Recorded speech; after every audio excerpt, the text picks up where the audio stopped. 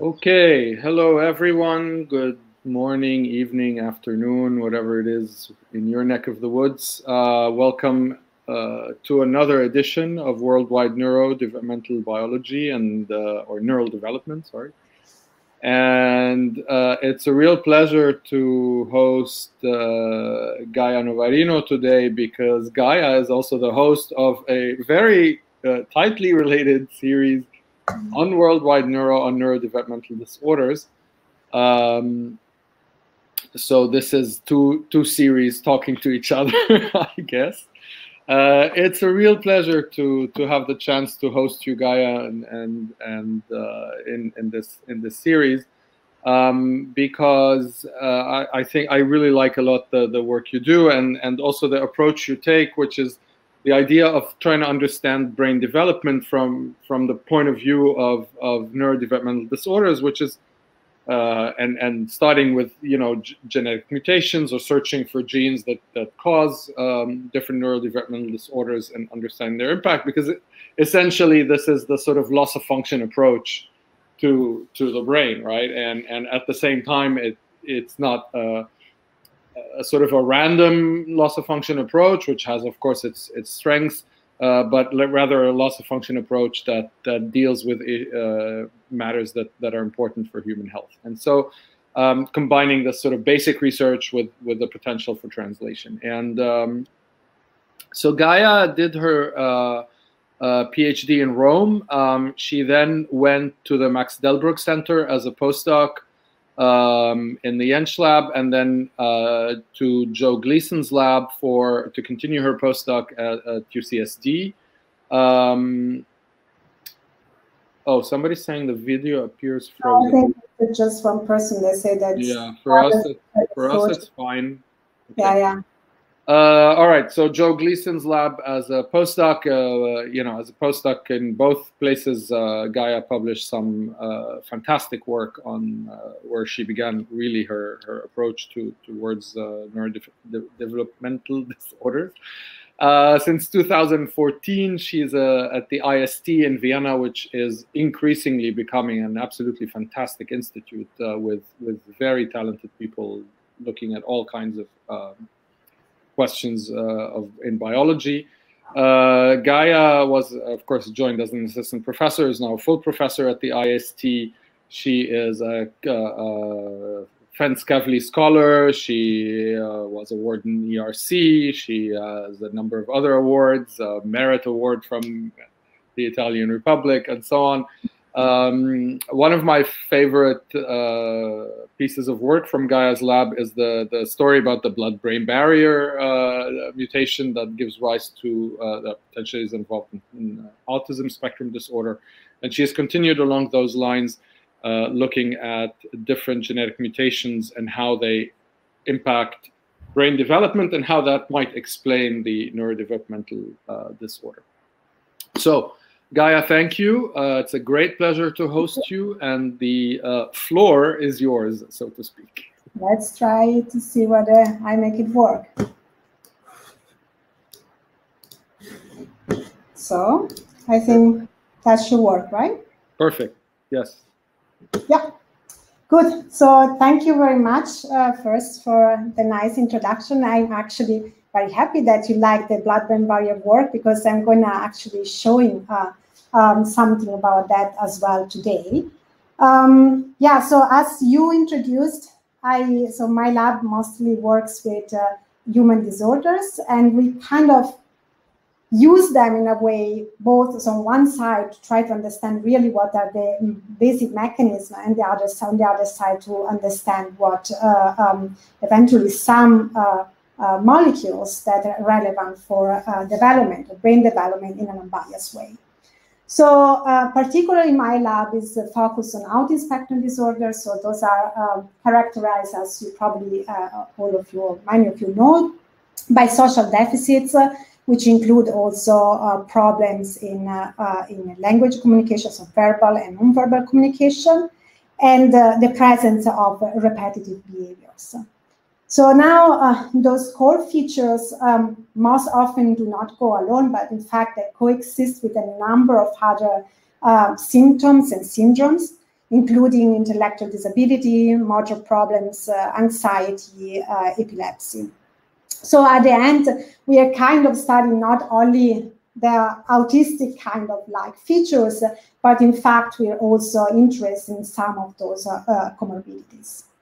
As you also uh, mentioned uh, uh, at the very beginning, during the introduction, uh, um, what we are doing is kind of combining human genetic data. So in a way, in fact, we're kind of using the human as our screening model to identify eventually genes that have a very high impact and very, uh, very relevant in the brain and, uh, and then use those uh, uh or model those disorders, making the same genetic mutations that we find in humans in animal models, as well as we are using 2D and 3D cell models.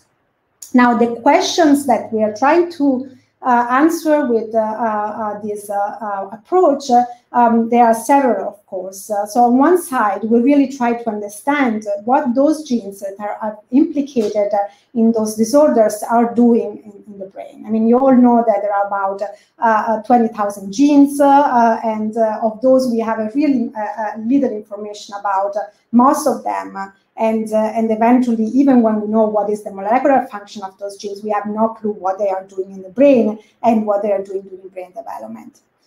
On the other side, we really tried also to understand kind of more uh, general questions. For instance, uh, uh, what are the sensitive time periods that are, are affected by those genetic mutations? and this is not a trivial uh, and not an important question because, of course, it could be that certain genetic mutations have an effect at a very specific uh, time point, while other mutations eventually have an effect throughout life. And this uh, requires eventually later on a, a completely different type of management at the level of the treatment. And then finally, of course, we're also very much interested in the reversibility. So because those disorders are typically uh, um, um, diagnosed uh, uh, later in, in, in, life, later, so when, when a child eventually is already two or three years at least, um, can we do anything after their onset? Now, all of this kind would be uh, already kind of uh, tricky um, if we would talk about uh, uh, one or two genes uh, underlying those disorders. But actually, uh, recently, actually yesterday, I seen in Twitter this very nice cartoon is was referring to polygenicity, but I think in general. Um, so also refers to to monogenic disorders that are the ones that we are most focused on. So I have been in kind of both sides of the wall, so uh, doing genetics, but also doing functional experiments. and they really see how we are discovering more and more genes, but uh, uh, doing functional experiments, we are still uh, pretty much behind. And we have to try to make sense about uh, all what uh, um, with the high throughput genetic tools we, are, we have identified so far.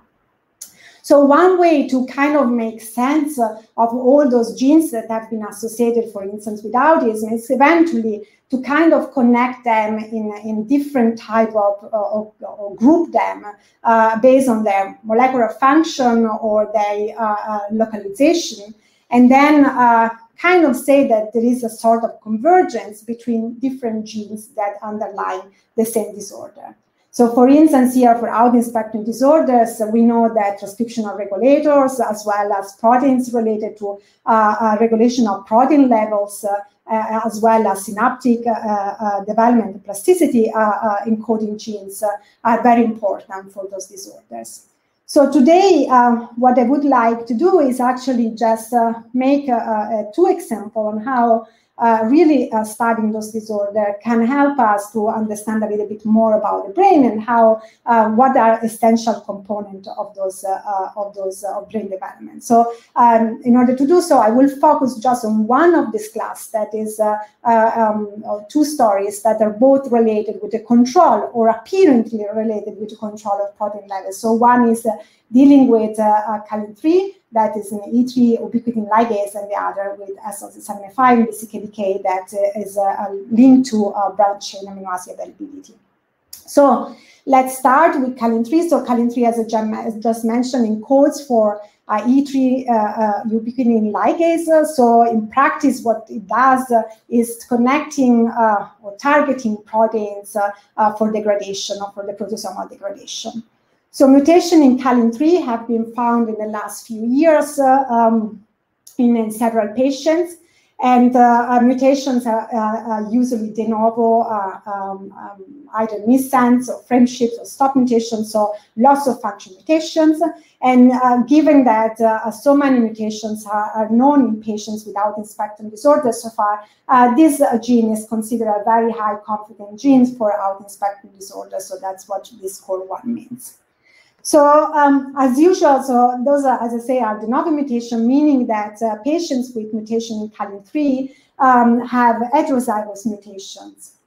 So as usual, what we do is uh, generate a mouse model. And for me, it's very, very important to mention that uh, in this case, we really uh, kind of replicate or try to uh, mimic as much as possible what is happening in the patient. So we are really studying CALIN3 plus minus model. Uh, um, uh, and uh, I think in this, uh, in this example, it's very important that we do so because as you will see, using, for instance, certain Cree-line eventually would mask some of the effects that we think we underscore in this, in this model. So um, those CALIN3 plus minus animals, um, so in general, what, what, when, whenever we are generating an animals, what we are doing at the very beginning is to uh, uh, characterizing them behaviorally. And I want to be clear in the fact that what we are kind of aiming to is not to say that those animals are autistic or to say that CALIN3 is, uh, is related to autism because of what we are, see, seeing, but it kind of gives us an hint that uh, eventually uh, um, CALIN3 or the CALIN3 plus minus model in this case is a good model to study eventually to, uh, uh, to study the disorder in humans. So in this case, uh, those animals have a number of different defects. So for instance, uh, they have a motor uh, problems that we see really just, uh, on, uh, so they have a slight ataxia. Um, they also have some social sociability issue of social memory formation problems. So they, they kind of uh, um, uh, not recognize uh, uh, or not prefer to stay with a novel mouse compared to uh, a familiar mouse. So those are very classical type of, of behaviors. We are actually now moving to probably the next generation of, of behavioral assays, but kind of tell us, and we have a battery of them, kind of tell us a few things. So first, that this is a good model. Second, we could not find real difference between males and females, which is always important to assess. Uh, and uh, again, I mean, that, that this is a valid model to use. Another thing that uh, uh, we thought at that point, so when we started the work of, uh, on CALIN3, we thought that eventually um, we would need to have some hints about when is uh, uh are those uh, developmental, what we call developmental defects, eventually arising. And so one experiment we decided to do is to do use a, a CALIN3 uh, mouse, where the CALIN3 is not, so the flox mouse, where a CALIN3 is not knocked out, uh, but we, where we can induce uh, deletion of one allele of CALIN3 uh, later in life. So if we inject, so we do so by injecting tamoxifen in, in, those animals. So if we inject tamoxifen uh, when the animal is about 30 days old and uh, keep the injection for a few days, and then we wait uh, about a month, and then we repeat the behavioral assays that we did in the plus minus animal, what we found is that those animals, um, we did again the entire battery, those animals do not show any behavioral abnormalities. So this really told us uh, uh, that eventually CALIN3 is in fact very important during uh, uh, developmental stages, so earlier than P30, because if you delete the gene or one allele of the gene later on in life, you are not observing those uh, uh, behavioral um, problems. So what then? So what is CALIN3 doing? So we went back and uh, we started doing some histology. We look at the brain. The brain, as you can see here. So this is uh, um, this is the as soon as I move the mouse. Um, um, so this is the uh, heterozygous model, uh, uh, and this is the uh, plus plus model. So as you can see, the brain looks uh, pretty much uh, similar um, in the two in the two genotypes. However, when we looked, uh, so here you can see the cortex uh, P0 in in, in the two genotypes. You may have uh, you may can see that the layering of the, the cerebral cortex is not uh, completely comparable. So what we noticed is eventually that some of the cells were kind of spread down and they were eventually not, uh, the layer was eventually not equally, uh, not compacted, but eventually would not reach the same level. So this kind of gave us the feeling that eventually Calin-3 uh, deficiency or APRIL insufficiency uh, may be linked to some uh, migration uh, problems so that eventually those cells are really not able to, uh, when they're forming, they are not able to go and reach their uh, final destination. So in order to test this in a better way, what we did is, or quantify that in a better way, we injected BRDU in E16.5 animals and we weighed them, uh, we let the, uh, the animal develop, and uh, we sacrifice them at P0.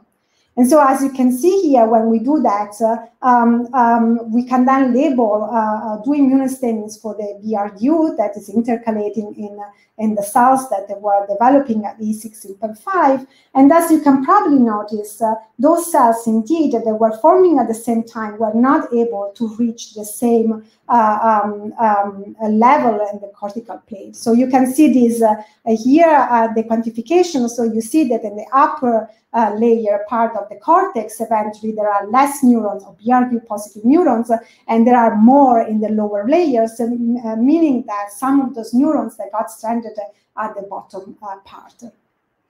So in order to um, so um, understand a little bit better uh, what is uh, what the Calin-3 is doing and why eventually is leading to this migration, we decided a problem. We decided to do some proteomic analysis, and we decided to do that because obviously if Calin-3 is uh, uh, absent, or in this case is uh, uh reducing quantity, you could imagine that uh, um, the uh, targeted protein are not getting ubiquitinated, and so they are not targeted to the proteasomal degradation, and therefore the target protein level is increasing.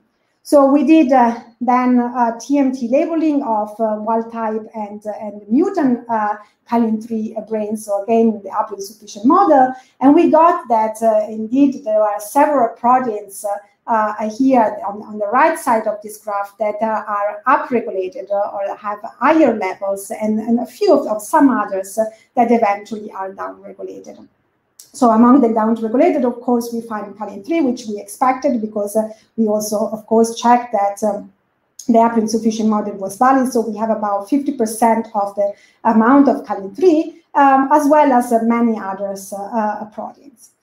So when we do go-term analysis, I mean, uh, we often do this uh, um, just to have an idea. Um, at the end, what we just got is what we kind of knew already, is that uh, uh those mutants, uh, uh, animals, or those mutant brain have a problem in cell migration regulation. And also what was very interesting that a number of different proteins that are related to actin binding and cell adhesion eventually were disturbed. So in order to test uh, or study these uh, phenotypes a little bit better, what we did is we moved to an in vitro system uh, where we uh, uh, obtain neuroprogenitor cells from uh, the Calin-3 mouse model, and then we let them migrate in vitro. And so this is a very nice system. So we did that by starting from neurospheres or in a more simple 2D system. But what is nice is that here you can really track those cells over the course of several hours. And that's exactly what you see here. So each of these lines is one cell moving over the course of about 48 hours. And you can really see that the Calin-3 mutant here in blue uh, travel eventually less. And we also know that have a, a, a decreased velocity compared to their uh, wild type. So indeed, uh, um, what we observed in the in the um, uh, mouse uh, in vivo um, that those cells cannot migrate uh, uh, properly is also maintained in, in, uh, in vitro, and also is we can say by using this assay that this is most probably a cell autonomous effect. So what next? Um, because we, in the proteomic analysis, we found uh, uh, that the uh, actin proteins were eventually disturbed. Uh, as well, there was something about the uh, leading edge of, of the uh, migrating cell. Um, we, they decided to go to one of our friends here at IST that does super resolution microscopy and staining those cells in vitro for actin and for tubulin. So after doing that, what we did uh, is doing an analysis to see what was the what is the directionality of the uh, actin cytoskeleton and the tubulin. Um, so we color code basically. So if it was parallel to the direction of the migration of the leading edge, uh, eventually the color was uh, more bluish, uh, and this is studied if it's more uh, uh, uh, perpendicular to the direction of the leading edge, eventually is, is um, color in yellow or in red. So that's how those pictures are looking like. So this is the actin cytoskeleton. This is the tubulin um, um, staining. And so, and this is the color-coded base uh, on the directionality. And as you can see, uh, while uh, in, uh, in the uh, in the wild type uh, cells, um, the, the the actin cytoskeleton is kind of well directed. So obviously it's a Gaussian distribution, but it's well directly in parallel to the leading edge of this migrating cell. in the mutant animal, this organization is kind of more um, random in a way. Um, this is, a however, so this is referred to the actin cytoskeleton, but this is not uh, instead uh, observed when we stay for the tubulin. So meaning that really is something with the actin cytoskeleton dynamics that eventually is uh, uh, uh um, um, affected in those cells. So in order to do a little step forward to understand um, uh, what exactly eventually could determine this uh, abnormal actin cytoskeletal dynamic, we went back to our proteomic analysis and we added uh, um, um, at this point also the analysis, the proteomic analysis of other two animal models. Was one is the a conditional model where we uh, conditionally deleted uh, uh, CALIN3 in the EMX1 expressed in cells as heterozygous and as homozygous. What we were interested to see is, first of all, what were the, um, the proteins that were consistently uh, um, linked and directly linked to CALIN3 levels. And second, whether uh, we wanted to understand whether uh, making a kind of more profound deletion of CALIN3, uh, we could also affect uh, some sort of uh, those response. And indeed, this was the case. Uh, there was one, especially one protein that was always popping up, that is this PLS3 or plastin3, that was consistently uh, affected in all our uh, data sets. And most important, or not most importantly, but uh, also importantly, uh, it was uh, um, uh, inversely proportional basically to CALIN3 levels. So the least amount of CALIN3 you have, so in a full homozygous knockout or brain knockout, uh, there is much more level of plastin-3 than in the heterozygous and then uh, of the uh, uh, wild type. So um, then I have to say, I mean, uh, just telling the truth. Um, so we were already focusing on this on this plastin-3 protein, but then I think I was lucky enough that I was walking around the institute and I was looking at the, at the poster that I didn't know. Um, uh, um, uh, uh, here at IST. And I noticed that another group that is actually studying uh, cancer cell uh, and uh, for other reason had, by, by chance, a plastin tree knockout. And the claim was that this plastin tree knockout eventually would move much faster, those cells would move much faster than the wild-type cells. So uh, this was actually telling us that uh, this was exactly the opposite that we were observing eventually in our uh, in our CALIN3 mutant, and so this uh, uh, uh, induced us to make an experiment also in the um, our neural cells. And indeed, what we find is that when we knock out plastin-3, we have those cells are moving faster and longer distances. Uh, while when we overexpress uh, uh, plastin-3, those cells are moving at a, at a, a, lower speed, uh, with a lower speed and uh, um, shorter distances. So this is done in the context of a CALIN3 wild type. So indeed, it seems that when we are when CALIN3 is mutated, leads to this kind of increase of plastin-3, and because of this, those cells that get slower and cannot migrate properly. So of course, uh, Um, so if we do then a knockout or a knockdown of plastin-3 in the uh, kalin-3 plus minus uh, uh, uh, um, uh, model. So um, those cells, as, as I was mentioning before, they are moving slower, exactly like the plastin-3 overexpression model. Um, when we do the knockout or the knockdown in the in the kalin-3 plus minus model, this migration problem is fully rescued. So um, furthermore, we think that plastin-3 is indeed really linked to the actin uh, cytoskeleton um, conformational problems in the dynamics that we were observing by uh, actin um, um, uh, stainings. And uh, indeed, uh, um, so just the plastin-3 overexpression leads to that redistribution or that uh, uh, kind of disarrangement of the actin cytoskeleton in those migrating cells.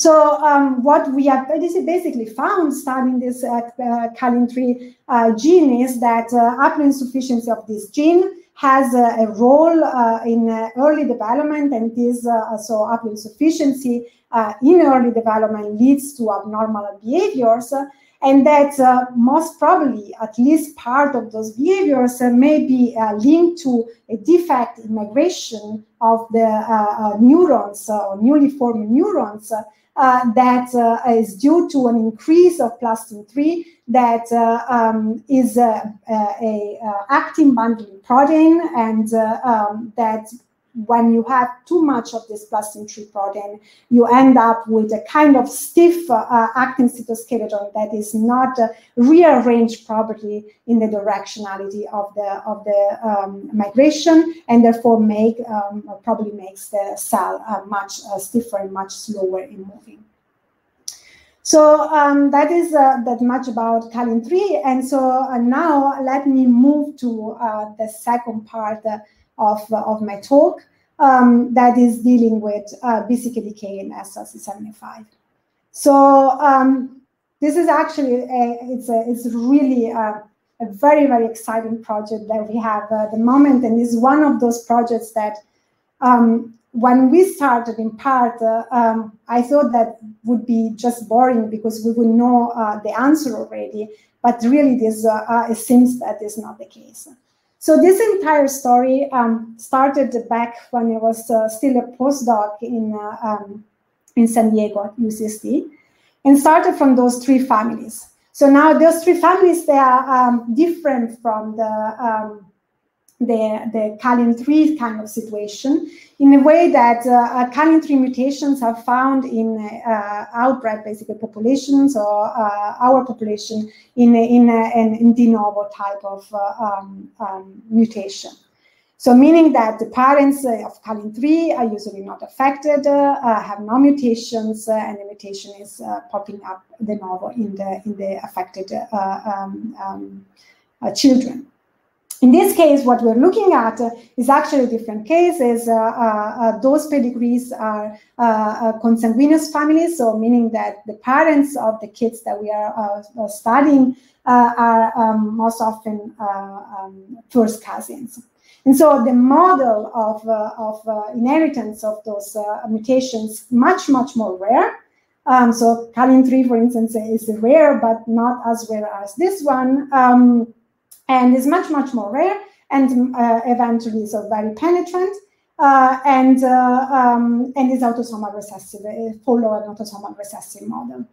So those three families, as I say, um, where uh, I started studying them when I was at UCSD, and uh, the, the people that you can see here in red, they're all affected by an autism spectrum disorder, motor deficits, as well as a, a very mild microcephaly, so there's a decrease in brain size. So um, we, at that point, what we did is sequencing, uh, do all whole exome sequencing of all the affected uh, patients, so here in red, and of some of the uh, sibling or unaffected siblings. And uh, what we found is that all the affected patients shared uh, different type of uh, uh nonsense and missense mutations in the BCKDK gene. So BCKDK stands for branched chain ketoacid dehydrogenase kinase. So I will not repeat that again, but let me just shortly tell you uh, what it's doing. So first of all, the branching amino acids uh, um, um, are three amino acids, leucine, isoleucine, and valine. Those are three essential amino acids, meaning that there is absolutely no cell in our body that can uh, uh, really synthesize them. And so the only way for us to uh, get them is through our, uh, uh, our diet. So now, for some reason, uh, which uh, we don't understand still fully, but for some reason the level of those uh, branching amino acids really needs to stay within a certain defined level. And so because of that, there is uh, obviously a catabolic pathway that when there are too man, many branching amino acids uh, uh, allows for the degradation of, of them.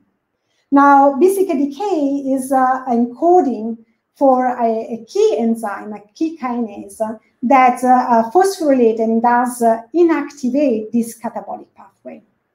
Okay, so the only thing that here you need to know is that when BCKDK is mutated, like in our patients, this pathway is overactive and therefore is continuously degrading branch chain amino acids.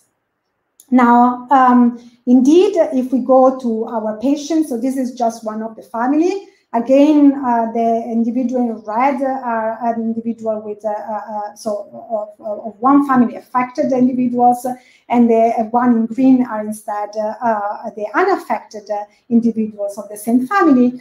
When we measure the level of amino acids in their serum, you immediately notice that. So here the gray bar is the normal level of each of those amino acids in a, in a classical population. And you see that in the majority of the cases, uh, the level of the uh, amino acid, of the specific amino acids in the um, in, uh, uh in the patients is equal to uh, what you would expect normally. But obviously, if you go here on the right uh, bottom side of, the, of this uh, uh, graph, you see that the patients have much lower levels of valine, leucine, and isoleucine. So this is, was exactly the prediction. So this, this BCKDK gene is not properly working. Or actually, it's not the, what we found in those patients specifically is a nonsense mediated decay. So we don't have a protein. And so because of that, this catabolic pathway is continuously active and, uh, and continuously degrading valine leucine and isoleucine, and therefore those patients have very low levels of those amino acids in their blood. So um, that was, uh, and we, we did uh, we did some modeling in the mouse, uh, the mouse lacking uh, or, or decay um, also have low level of branching amino acids in the blood, do also have uh, low levels of branching amino acids in their brain. Again, it's it's kind of trivial, right? Because uh, the brain can also not synthesize those amino acids, so those amino acids uh, obviously follow kind of the concentration that there is uh, in, in the blood. And those patients have autism spectrum disorders, motor issues, epilepsy, and this mild microcephaly. Now, one of the questions at this point was uh, whether why those people have this uh, type of of uh, disorder. And so one of the of the thought that we had at that point, or a few years later, it was that uh, um, if the branching amino acids are very relevant in the brain, no matter if you lower them um, by lowering their level uh, in the blood or by lowering their level directly in the brain, the effect should be the same. And so uh, basically, we, we say that there must be eventually a condition uh, that uh, um, where the patients have uh, normal levels of branching amino acids uh, in the blood, but eventually low levels of the branching amino acids in the brain, because in fact those uh, branching amino acids are transported from the blood into the brain at the level of the blood-brain barrier by a transporter that is encoded by the gene SLC75. So the thought here was if we block or if, we, if there are patients that where this uh, transporter is not functional, eventually the level of branching amino acids should be equally affected like the patients with BCKDK mutation, and those should have uh, the same type of disorder if those amino acids are indeed relevant. And indeed, this is the case. Um, so, um, in fact, in the same cohort where we had also BCKDK, there were also other patients with mutations in the gene SLC75. Um, this is a very large family, so genetically uh, extremely informative if you do segregation. And those uh, uh, uh patients uh, carry mutations, uh, missense mutations of very well conserved amino acids. Um, so eventually very relevant. We also showed that those amino acids are relevant uh, for transport and eventually for uh, the amount of protein uh, that is in, in, in, the, in the cells that we obtain from those patients. Those patients indeed have uh, autism spectrum disorders, motor deficits, and they have a very severe microcephaly, much more severe, in fact, of the BCKDK patients. So um, we did some uh, mouse work, uh, and those, uh, uh, and specifically what we did is deleting SLC75 just from the endothelial cells of the blood-brain barrier, and those animals have uh, autism-like features, let's say, motor issues, and have a reduced inhibitory transmission. Most importantly, what we notice is that if we injected uh, leucine and auxileucine, when those animals are already uh, um, uh, P40, over the course of about three weeks, um, we could rescue uh, all the phenotypes, at least the ones that we have looked at. And this was not uh, is not uh, trivial because uh, some of the sociability uh, problems we cannot really check because uh, those animals with this big pump cannot really be placed in social tests afterwards. But yet we could make sure that in a way that um, the, the, the, phenotypes we were observing in those mice lacking the SLC75 in the, in the blood-brain barrier were due to, uh, at least in part, to the absence of leucine auxileucine in the brain. Now, one thing, um, in fact, we could not find, and this was the severe microcephaly. So uh, I mentioned, so those patients have all severe microcephaly. They have up to a minus five standard deviation of brain size, of head size. So just to recap, microcephaly is, uh, is, a, is a malformation that, uh, or a decrease in, in brain size um, with uh, an otherwise normal, uh, morphologically normal uh, brain. And uh, I would say that SLC75 mutations leads to this severe microcephaly, um, again, to this uh, about minus five standard deviation. So the question here was why um, the animals where we are deleting SLC75 uh, from the blood-brain barrier do not show this uh, mild microcephaly. And at that point, um, I, I, had a very, very, uh, we had a very, very easy explanation.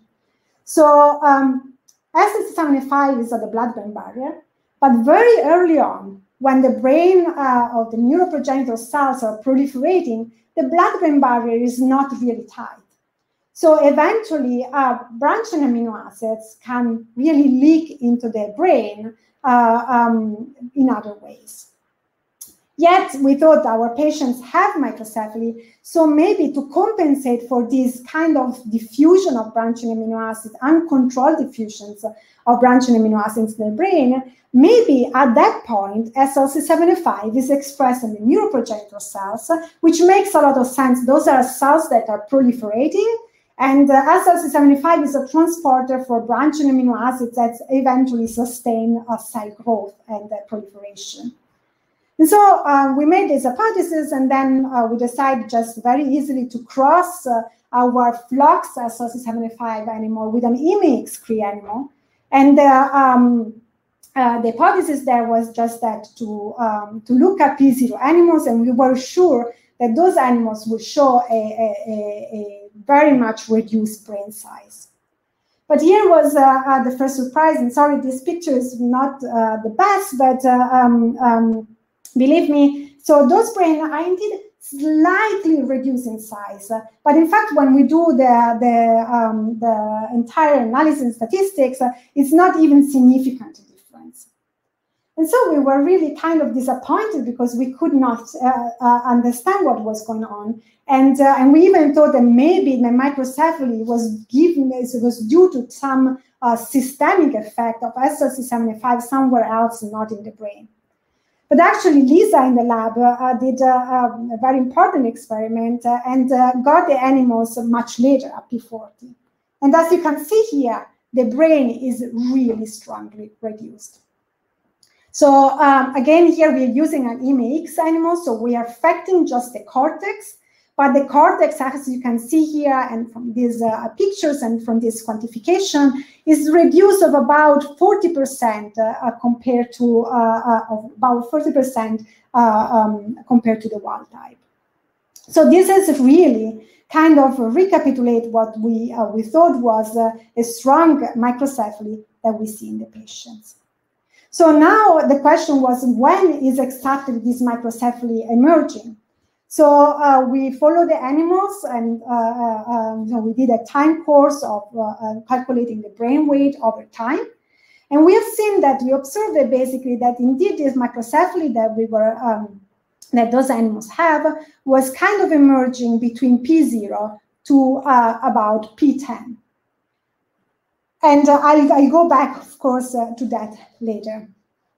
Now, obviously, I mean, measuring brain weight is, uh, is uh, and brain thickness or cortical thickness is, is good, but it's not super quantitative. But again, I mean, we are very, very lucky to have here another colleague um, that has, a very good system that is the MADAM system uh, that allows us uh, to link a color with a genotype. I'm sure that most of you here probably um, will already know the MADAM system, but just shortly uh, to uh, recap what is happening here. So we have, uh, uh using this model, we have the possibility to have wild, wild type animals with, uh, uh, sorry, with red and green cells, both wild type, so plus plus for SLC75, in a wild type context. This uh, uh, one important point is that, as the image already suggests here, is that this labeling is very sparse, so allows to uh, really uh, nicely quantify and, and, count how many cells you have that are either red or green. Then you can also obtain a condition in which you have uh, what uh, Simon calls the MADAM mosaic um, that has um, is a as an environment, uh, all cells are plus minus, in this case, plus minus for SLC75. And then there are a few cells that are plus plus uh, for SLC75, uh, and those are, in this case, uh, color in red, and some cells that instead are minus minus for SLC75, and those, in this case, are color in green. Now, this approach gives you the possibility to count precisely how many green and red cells you have. And what you would expect is that, uh, uh, for instance, in a wild type conditions, the ratio between green and red cells should be equal to one.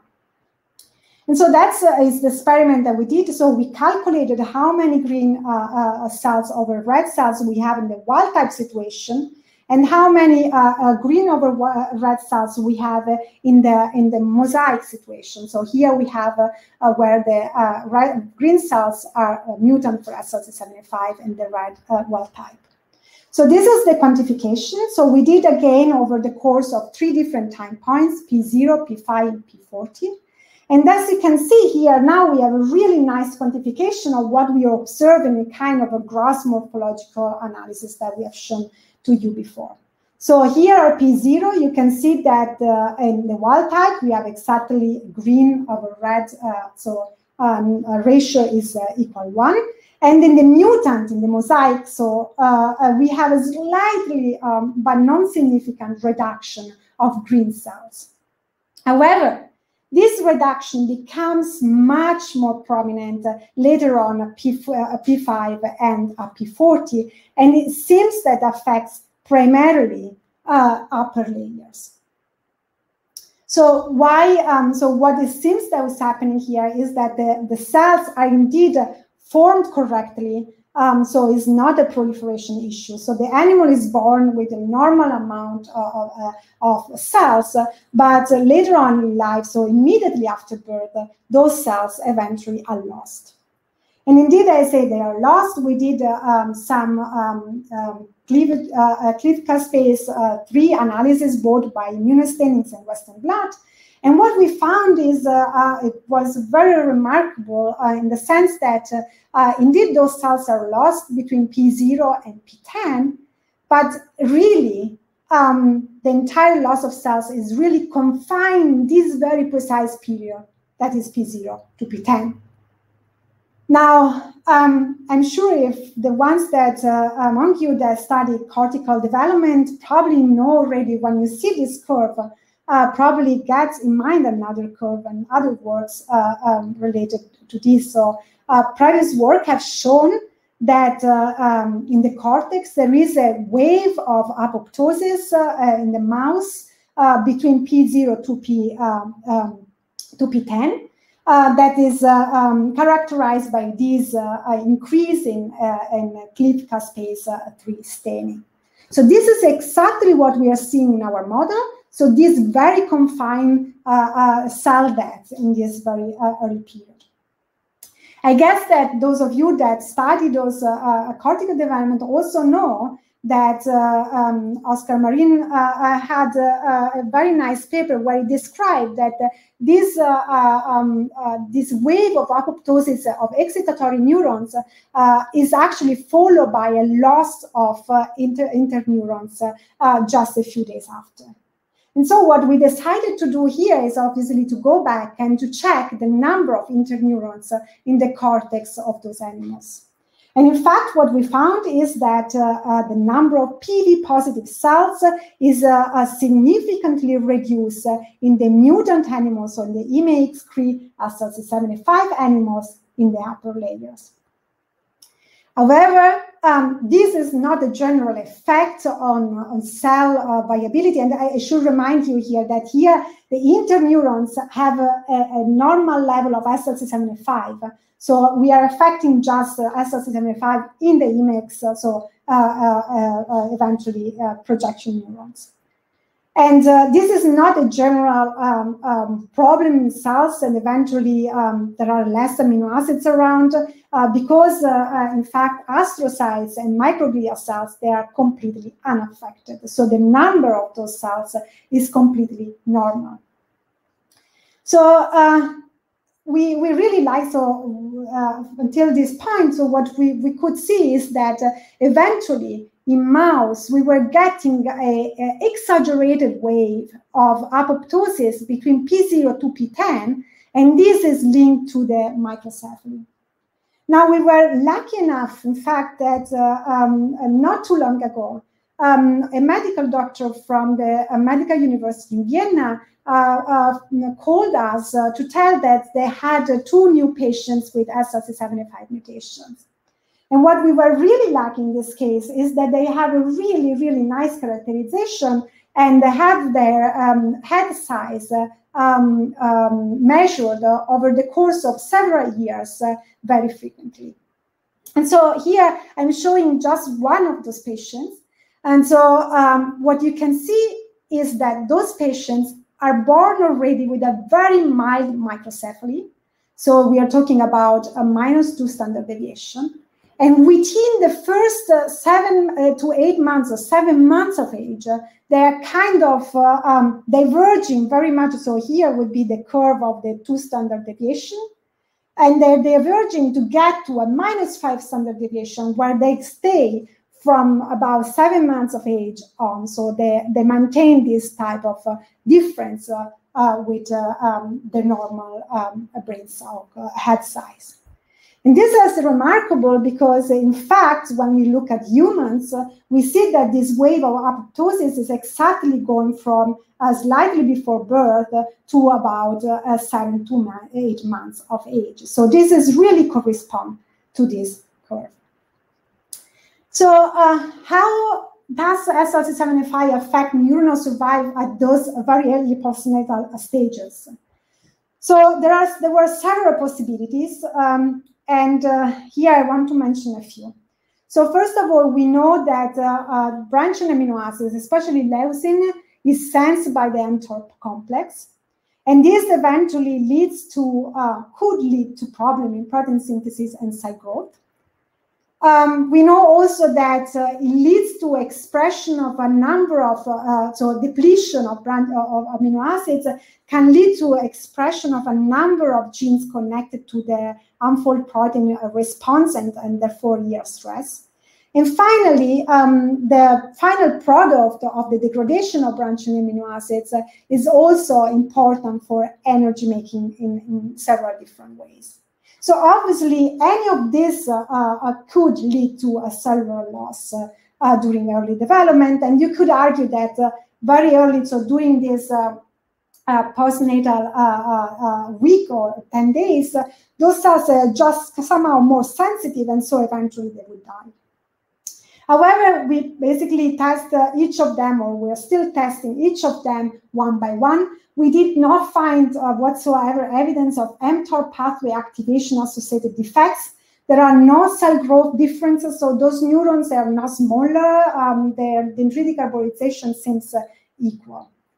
We also did not find any evidence of ER stress by EM, and by also checking by one by one all the potential pathways using Western blot analysis um, that are linked to UPR and ER stress response. And finally, although we are still uh, checking this, uh, at least uh, um, um, based on um, some uh, um, some data, we, we we think that there is no metabolic differences uh, um, underlying this disorder. Most importantly, we think that in fact all of this, uh, so what I just mentioned, was all dependent on branching amino acids level. But in fact, I would argue that eventually what we are observing is not branching amino acids level dependent. And uh, um, indeed, uh, when we are blocking uh, from the blood-brain barrier the branching amino acid entry into the brain, so we are stopping uh, the, the blood-brain barrier mutant that, uh, that I mentioned to you, where we have low level of branching amino acids, those animals do not have microcephaly. So we think this is not branching amino acid dependent. Furthermore, if we're looking at the BCKDK patients, and those were the very first patients I mentioned where we had this low level of BCKDK uh, um, branching amino acids in both in the blood and in the brain, those patients, they have a mild microcephaly, but the microcephaly is much milder. So uh, they're born with minus two standard deviation, but the curve then stays uh, uh, pretty much on the minus two standard uh, deviation uh, part. So they really look at the beginning similar, but in fact they are different. So um, the idea here was, and I have to say that here was uh, Lisa that is working in this project that kind of from the very beginning thought that this uh, would be a possibility that SLC75 uh, modulates uh, uh, cell survival in some other way, eventually in a branching amino acid independent way. Now uh, we went through the literature and we kind of were lucky to found to find that um, um, someone else found SLC75 in a screening for uh, um, um, interacting proteins and modifiers of the KV1.2 potassium channel. So uh, in fact, uh, it seems that uh, this is not just true for KV1.2, but also for KV1.1. It seems that SLC75 in X cells, but also in neuronal cells, interacts uh, physically with those two channels. So those two channels, uh, um, so you can, as you can see here, they're actually important for the modulation of the action potential of the neuron. And especially, it seems that it's important, so it's expressed at the axon initial segment and eventually are important for modulating the action potential um, threshold as well as a fiery frequency. So then uh, if you know again uh, uh, this uh, the literature on this redefinement or refinement of the cerebral cortex early in development, um, it's uh, not a surprise that then we made um, connected the dots and then we say, okay, maybe what if SLC75 is modulating the activity uh, uh, of those neurons early in life?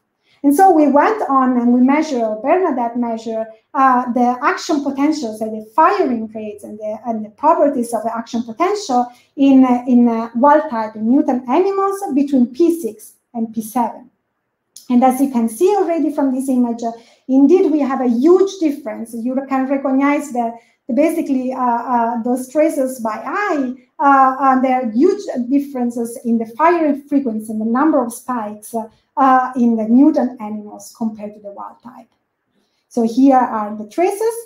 And most importantly, this is not a general effect that SLC7A5 has, but this effect on firing rates seems to be really confined to very early in development. So when we do the same experiment in animals that are P25 to P26 old, there is no difference. Now, one of the possibilities that we had here it was that maybe uh, those cells uh, um, are just immature and, uh, and so then, um, therefore, they are dying. But actually, the data that we collected would say the other way around. And this is maybe a bit provocative, and in a way, we have still to uh, um, um, really demonstrate this. But what we found is, in fact, that the, the, the shape and the characteristic of the action potential in the uh, P6 to P7 mutant animals were resembling more closely the uh, um, uh, more mature neurons. So you can see this very well here. So what we have here here is uh, the uh, the uh, wild type animals, mutant animals, are P6, P25, P6, and P25. And then you can see is that the type of characteristic that the uh, so the for instance the action potential amplitude in P6 to P7 mutant animal resemble pretty much what you have in the wild type in P25 to P26 wild type animals and is uh, uh, significantly different from wild type animals at P6. And this is true for the rise time as well for the uh, action potential threshold um, um, in the same way, but does not affect uh, other properties of the action potential. So now there was uh, one uh, question still. I mean, we have still many questions left, but one uh, question that was kind of bothering us, uh, and the, the, the, question was like, maybe what we are seeing here is has nothing to do or has uh, is not directly uh, um, connected with that SLC75 function, but this effect on the firing properties eventually are independent or kind of homeostatic mechanism because SLC75 is eventually adjusting something else, and so the cells eventually uh, adjust uh, the firing properties. And so, in order to answer to this question, we went back to our MADAM system. And what uh, Bernadette here did is to patch wild type cells and mutant cells uh, in, in, in this system. So in this case, we have uh, all cells are plus minus, except the green that are minus minus and the red that are plus plus. And as you can see here, we can find really the exact same differences. So indeed, uh, um, the firing rate of those neurons is cell autonomously affected in those animals.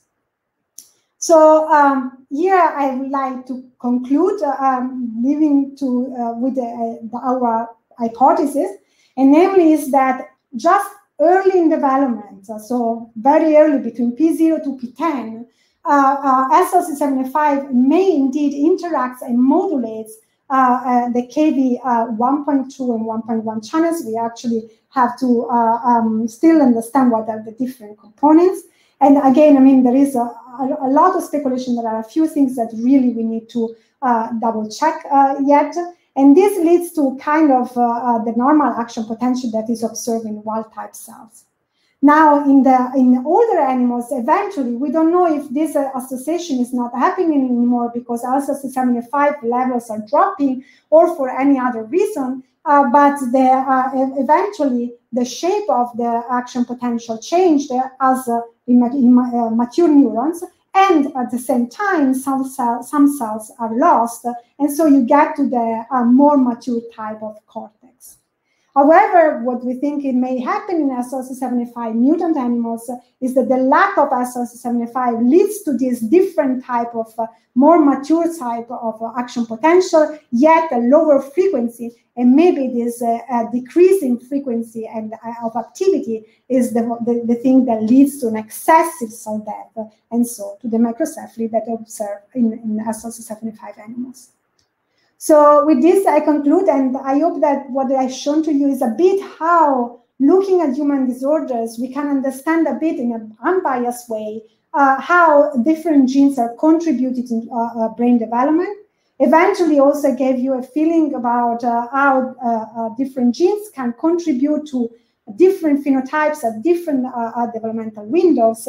and I didn't talk about much about reversibility. It just gave you a hint about that. That eventual injection of isoleucine and leucine could reverse some of the phenotypes. And with this, I want to conclude, of course, uh, thanking all my people. So the work uh, um, I have shown to you is mostly the work on Kalin3 from Jasmine and Lena. Um, and the work on SLC75 uh, is the work of Lisa with the great help of Bernadette that here um, is already, you can just see a rig actually, because probably she's a rig almost. But uh, um, so this is, I think, the, the current group picture that we have. And with this, I uh, conclude and thank you for your attention. happy to take any question. Okay, thank you very much, Gaia, for this fascinating, uh, wonderful survey of your work. Um, we'll start, I guess, with the questions that are in the box. So the first question is from uh, Steph Bolak, who asks, uh, could SL uh, could SLC 75 um, uh, 7A5 sorry be considered as an epilepsy gene rather than an ASD gene? Yeah, I mean, oh, sorry, uh, uh, that's that's a very interesting question. In fact, um, yes, some of, of the patients we have have also epilepsy. Um, so the, answer is yes, but not always. And uh, the reason why not all patients have epilepsy, um, I, I, don't fully understand them. I mean, I'm, I'm, I'm, wondering whether there could be some connection with, with what I just show about this interaction with the potassium channels. Maybe uh, if you have mutations that do not affect the, the amount of proteins, this interaction can still happen. But I really have no clue. But in some cases, we see uh, epilepsy, in some others, we don't. Okay, so the next question is from uh, Richard Smith, and he asks, uh, did you do a voltage clamp and show that a change in potassium channel, uh, show a change in potassium channel current amplitude? Yeah, so we are doing that, and uh, we indeed find some differences, but uh, I would say to so um, separating those currents from all, so from in slices from all the potassium channels that there are is not uh, very trivial, at least not in our hands. Um, but we are doing that and we detect some differences, but I would like to um, have more um, data on that. Uh, the next question is from uh, Eamon Fitzgerald, who says, Great talk. Would you be willing to speculate about the nature of the interaction between uh, SLC 7A5 and the potassium channel and, and how, uh, how it might modulate it? I guess how SLC might modulate the channel. Well, I think it's really so. I mean, if I really want to do the, the speculation, is that uh, eventually SLC75 acts in that very specific time window as a beta subunit, but uh, um, I know that they're physically interacting. Um, we need to do much more, uh, some some experiment more, and we are doing exactly to address this question: whether it's acting as a beta subunit, uh, uh, where they're expressed exactly at that time period, if, uh, and uh, and uh, how I mean, we're doing a few rescue experiments uh, looking at some amino acids that the people that have identified the, the interaction eventually highlight as potentially important for interaction. Okay. Rita Cardoso Figueiredo, I hope I'm saying this correctly, it says, great talk, thank you. I might have missed something, but given that BCAs are uh, BCA supplementation could rescue the behaviors you observed impaired, but then other results showed that microcephaly is independent of the level of BCAs. Does this mean that the microcephaly is not really what is causing the behavioral defect? Yeah, that's a very interesting question. In fact, I didn't show here, but we did also the behavioral analysis of the of the microcephaly model, uh, and uh, those animals that do have behavioral uh, features but the behavioral features are kind of opposite. So, for instance, uh, uh, to the to the, the behavioral features that we found in the in the blood-brain barrier model. So, for instance, the blood-brain barrier model has these severe motor phenotypes that are also observed. Uh, uh, some motor phenotypes were also observed in the neuronal model. Uh, but those animals are hyperactive and the other animals are not. So it's very difficult to to claim. So uh, the, the best would be uh, really to do the supplementation in fully um, mutant animals, so blood-brain barrier and neuronal uh, model which we haven't done yet. And just mention, in the mouse, uh, the, the homozygous mutant is little. So this is something, and that's probably why in humans we keep finding missense mutation because maybe there is some kind of uh, um, left uh, activity or left uh, um, protein, not a protein, but eventually yes, actually. Okay. Uh, so uh, Natalie Yurishyakshi is asking, uh, saying beautiful work. Is the amino acid transporter activity necessary for modulating the potassium channel, or are these two functions of the SLC transporter uh, yeah. independent functions? Yeah. Yes. Could you speculate on why this transporter has evolved two different functions? Yeah, that's a, that actually the, the, the, second part of the question is really the part of the question that I, I would I love to speculate on that. But let's go to the first part. So it seems that uh, um, that it is independent uh, uh, of the um, the branch amino acid transport because uh, uh, when the people that found interaction uh, um, were looking at the modulation of the KV channel, so now we are collaborating also and we are we are getting some mutant from them, but uh, when we're looking at the modulation of the channel, uh, they um, they also use one of our mutants, so the, the, one of the mutations that we found in patients, and we knew that this was uh, transferred back, and still this was modulating the activity of the KV channel. Now, the second part, uh, yes, I love to speculate in that. I mean, I find super fascinating the idea that uh, during a very particular period of life early on, a nutrient-linked uh, um, uh, transporter is uh, modulating activity. And I think um, in part this is, uh, you know, in the Drosophila field, I think there is there are a couple of mutants of transporters that are linked with nutrient that in fact are also modulating behavior.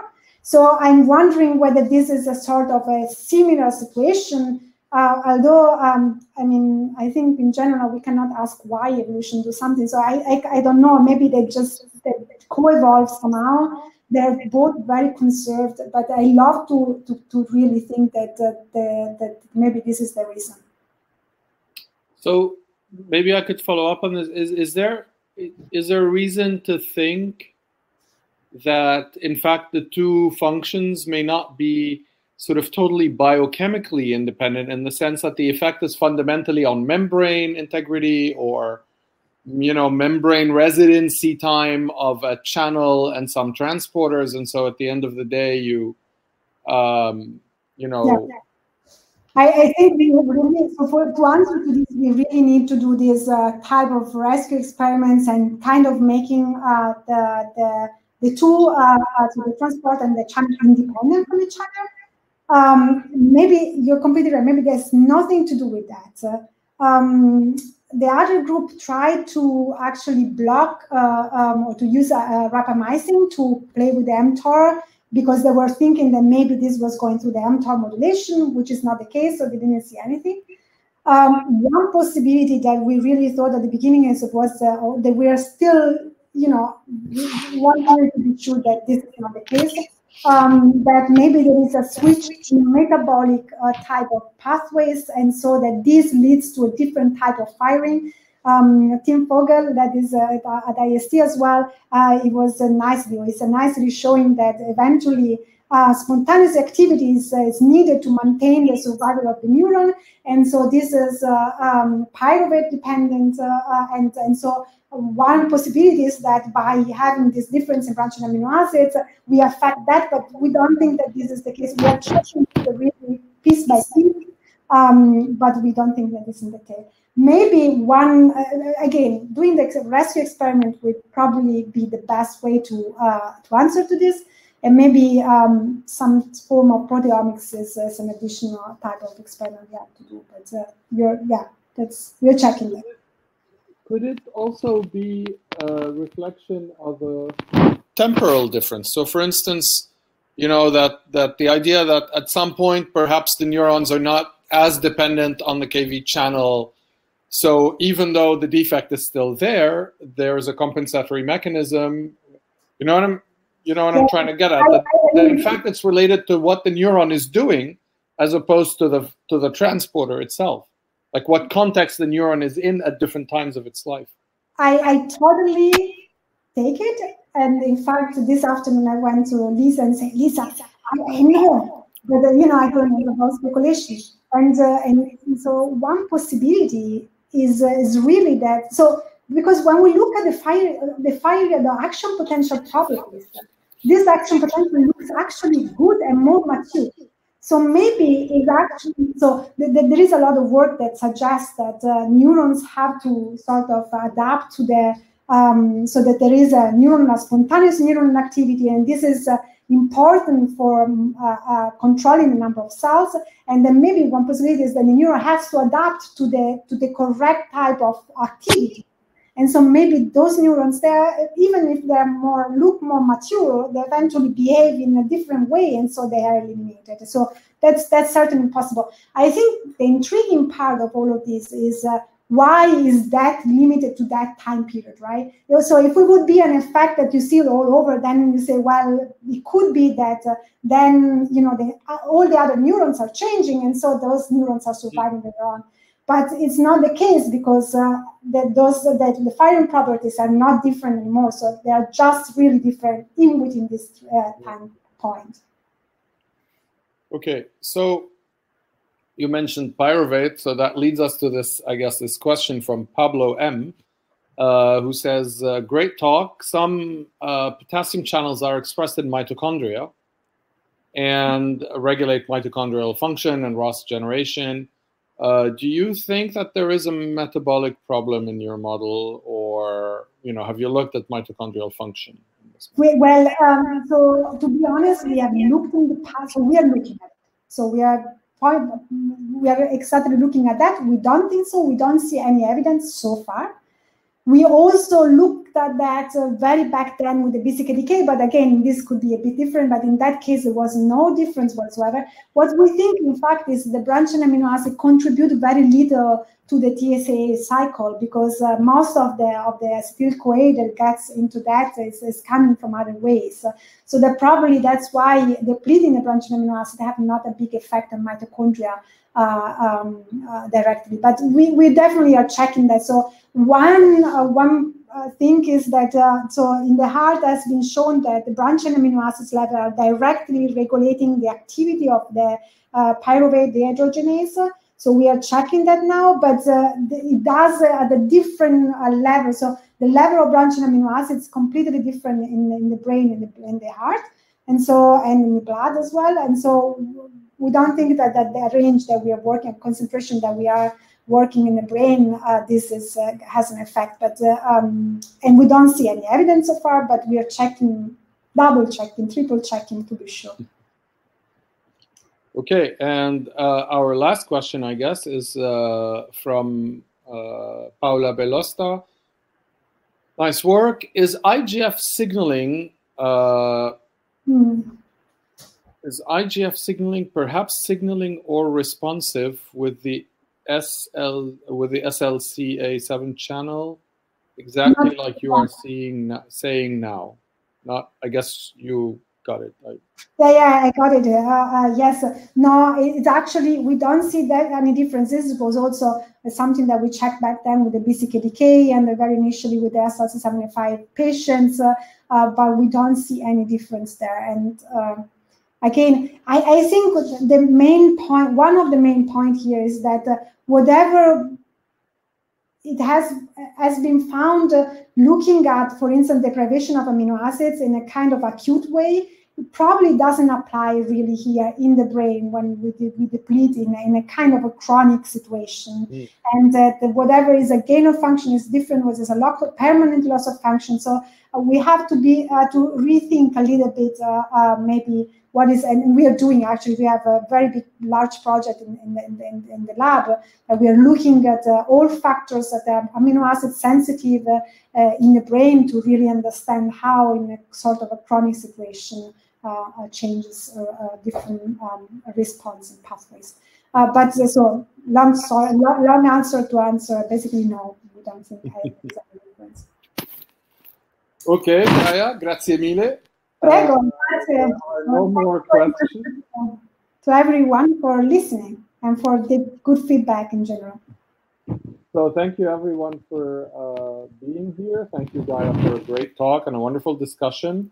I want to remind all the students and postdocs that um, Worldwide Neuro is uh, looking for young uh, scientists who would like to present a short, make a short presentation prior to the main talk. So if you're interested, please send an email to the Worldwide Neuro email. Um, uh, all PIs, please send this, give this message to your to your people. Um, uh, and uh, yeah, stay safe, stay healthy, take care of each other and yourself. Also, so huh? There is, next week there is also this NeuroMatch uh, conference yes. That is also yes. interesting for some. Absolutely. So um, you know, for better or worse, looks like Worldwide Neuro will be with us for a while. Um, you know, and so take care of yourselves and each other, uh, and uh, see you again soon. And uh, visit the website to uh, hear about all the fantastic talks that are scheduled. Thanks again, Gaia. See you around. Bye.